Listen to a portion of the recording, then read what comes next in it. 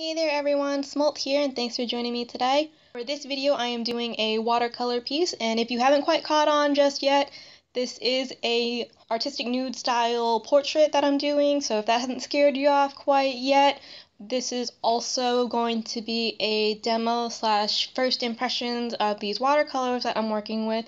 These are new to me, these are the Dr. P.H. Martin's Hydrus Fine Art watercolors and I bought two of the 12 half ounce sets, so I have 24 colors.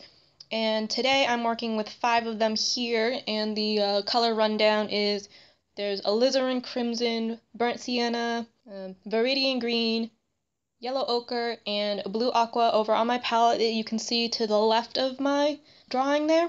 And I wanted to be able to record myself actually mixing the paints, so I'm not sure how well that translates to um, being sped up, but it is there. Uh, now these are an interesting form of watercolor because instead of being a dry pan or a creamy tube, these are liquid and they behave almost like inks do, except they're still they still maintain the uh, watercolor uh, qualities to them, and I think that's pretty cool. Now these describe themselves as being uh, quote Hydrus Fine Art Watercolor is made from the finest artist pigments which have been chosen for extreme light fastness and brilliance. Hydrus gives to the watercolorist a new freedom to blend and intermix while maintaining the transparency and luminosity of the color. Titanium white can be intermixed to achieve an opaque gouache watercolor. End quote. And I've been playing around with them for the better half of the last month or so and this is actually the first uh, painting that I've actually done with them. I've only been doing like color swatches, and I have like this big color chart of them so that I could get a better idea of what they were capable of versus my last couple watercolor paintings where I went in mostly blind. Now, these watercolors have been a lot of fun to use. They are super, super pigmented. They apply quite smoothly. The flow is wonderful. I really like it. The pigmentation is phenomenal. Little, I'm barely using any, and I'm already getting so much pigment on my brush that I'm being super, super careful in this, uh, in these first couple steps here, because I don't want to use too much color as I want this to be very soft. I do feel that I need to work with these very, very wet, which is absolutely fine by me because that means I can stretch the pigment very, very far. I've barely used any of my paints.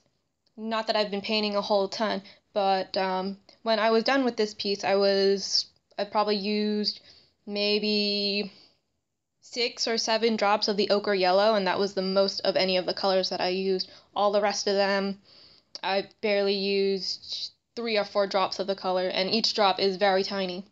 And I feel like I could complete a very large piece with very little paint um, this piece is only 7 by 5 inches, which is not a very big piece, but I did not need a I barely needed any paint to get this finished. Um, there are a few flaws that I've come across with these. Um, one of them is that they do settle when they sit in the bottle or if they sit anywhere, they do settle a little bit, so you do have to uh, shake the devil out of them a little to um, to ensure an even consistency in them. But that seems to be the way it is with anything in a liquid form, like all my liquid inks and such, I have to shake them all. Um, nail polish, things like that, that's not a big deal to me. And the other real con that I've come across is a very minor problem, if at all, and it's I'm probably I'm pretty sure you've been able to see it as I'm working, but in between takes, the uh, liquid watercolor will dry on my palette, and when I go to re-wet it, it feels like it re-wets funny.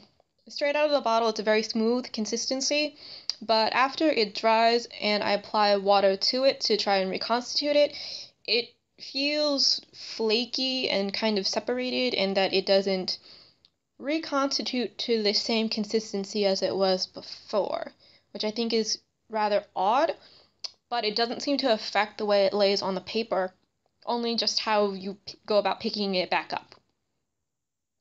So I've abandoned, or I've mostly abandoned rewetting during this, and I just, um, whenever I'm done and I know that it's going to dry, I just wipe it up and start fresh, which is absolutely fine, because like I said, I've barely used any of the paint, even having to replace the color each time. Um, since completing this piece, I have uh, gone up with a different way to store them. That way I don't have to keep replacing as much paint every time. And I can explain that a bit more if anyone's interested in that. And those are my initial findings for uh, these watercolors. Otherwise, I am quite enjoying them. Uh, for this piece, like I said, this is an artistic nude portrait, and the girl is actually an original character of mine. Her name is Luck, and she's one of my favorite original characters. Though I feel like if I go into detail about her, a lot of people would not like her because she does uh, exhibit a lot of undesirable character traits. I have a tendency to be a fan of undesirable characters.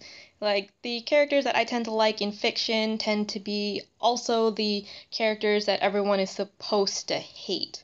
And Luck here is not a hateable character, or she's not meant to be, but she is different in both good and bad ways, I feel like.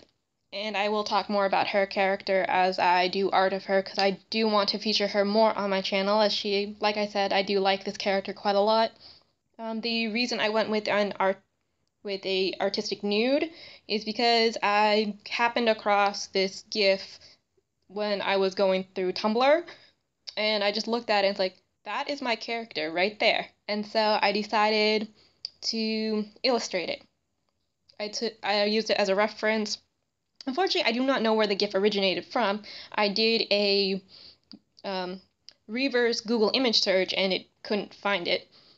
And it has since been lost somewhere in my dash like months and months and months ago, so I cannot find it anymore. And I'm not even sure how to go about finding it but seeing it just resonated with me. And this is the, uh, well, partial end result. We're almost to the end of the video. We are actually getting to the background. Um, you'll have noticed that I started painting in the character, and normally I will paint in the background first, but for this piece I didn't really have an idea of what I wanted to do with the background. You can kind of see in the back I um, I sketched in some little circle pattern in the back, and I was hoping that uh, I would figure out what I was going to do with them as I painted, and the inspiration wasn't coming to me. So I, I winged it. And for this piece in particular, I felt like the hair, her makeup, and the background were the hardest parts for me to try and render because I didn't know what I was doing. I was winging it. I promise I'm an artist and I kind of know what I'm doing. No, no, not really. but uh, during the background, I filled in like the little diamond areas between the circles, and as I was doing that, um, somehow I put my brush down and I just smeared uh, color over this one small area, and I just had a Oh, um, well, what a, um, I, I can fix this. I need to fix this. And so I, I finished all the little diamonds and then I quickly grabbed a cotton ball and decided, how do you hide a tree? You hide it in a forest. So I made a forest out of this one little green smudge. And then from there, the background kind of created itself. Thank God, or well, thank you, Bob Ross. but I got the idea to fill in the circles with the ochre yellow color to try and hide the green a little bit more. And from there, I started texturing the, or I started building up the yellow, and a texture started to form, and so I went with it. And I ended up with these almost flower type things someone said they look like cupcakes, so maybe they're cupcakes. I don't know. It's open to interpretation. They're whatever you want them to be. but I'm really glad that worked out because um, that's one way to to save your happy accidents. Just make flowers and yeah. and I should be along with the uh, final details. A lot of the detailing I didn't film as I did them with uh, some polychromos because I was hoping those would work out as well. I went in with them blind as I don't have a whole ton of them, but it worked out and I'm and I needed to not record them because I would have been too close to the canvas and my head would have just been in the way the entire time.